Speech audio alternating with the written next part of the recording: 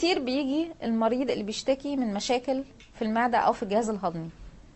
يقول للدكتور أنا عندي البكتيريا الحلزونية أنا تعبان. المشكلة دي ممكن تعمل لي أورام المشكلة دي ممكن تعمل لي مشاكل.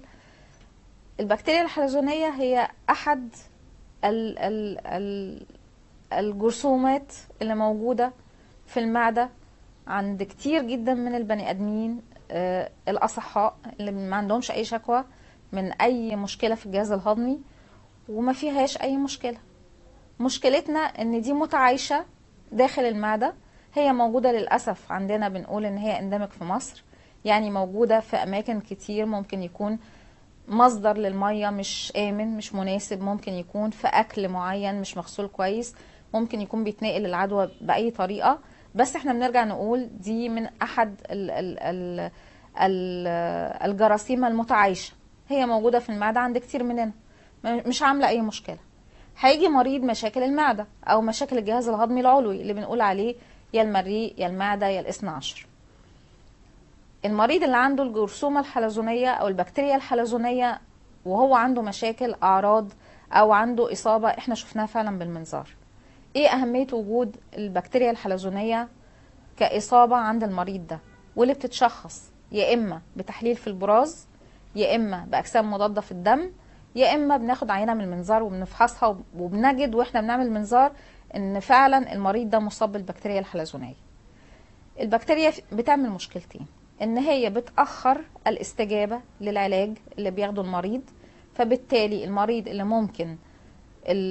لو هو عنده قرحة أو تقرحات في المعدة واديت له علاج مناسب وهيخف في أربع أو ست أسابيع لا البكتيريا الحلزونية دي وهي موجودة هتعاكس تأثير العلاج والمريض هياخد فترة أطول بكتير عشان يتحسن.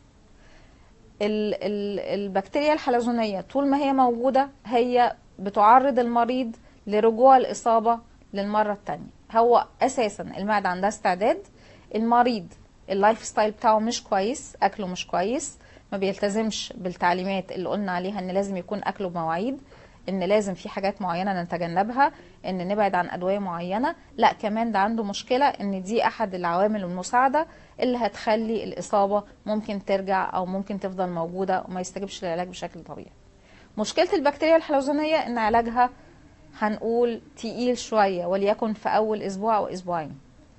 مشكلتها إن لازم هناخد نوعين من أنواع يا إما المضادات الحيوية يا إما المطهرات مع الأدوية اللي بناخدها علشان تحسن أو أو أو تنهي وجود التقرحات أو القرح.